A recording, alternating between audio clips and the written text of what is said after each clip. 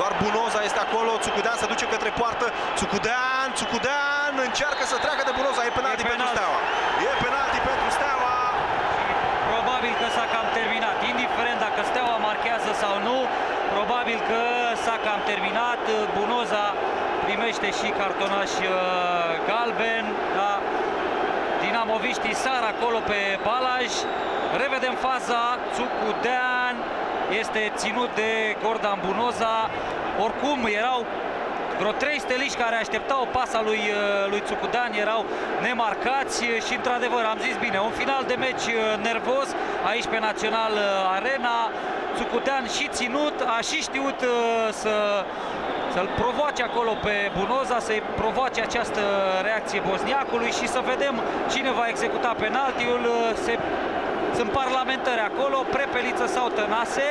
Cred că Prepeliță, prima dată l-am văzut pe Iancu luând mingea. El a ratat însă cu viitorul, nu prea mai prezintă încredere. Prepeliță, autor a patru goluri în acest uh, campionat, poate închide meciul uh, Marele Derby cu Dinamo Prepeliță față în față cu Traian Marc, al doilea penalti al uh, partidei, al doilea penalti de care beneficiază Steaua. Până acum Steaua în acest campionat nu mai primise niciun penalti de la Balaj.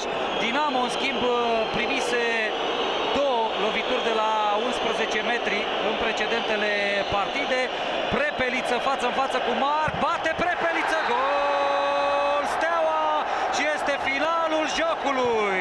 Steaua rămâne în cursa pentru titlu, revine la două puncte în spatele liderului ASEA Târgu Mureș. Steaua își continuă seria invincibilă în fața marii rivale, al 11-lea meci consecutiv pentru Steaua, fără înfrângere în fața lui Dinamo.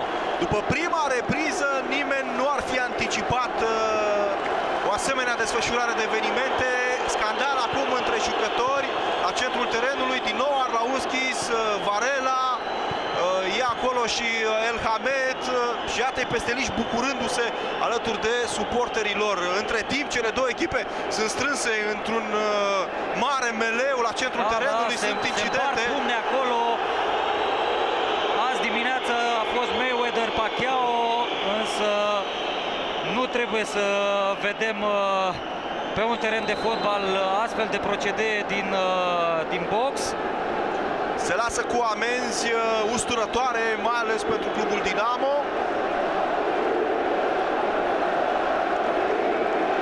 E 1 la 3, nu 2 la 2, cum vedeți pe ecran.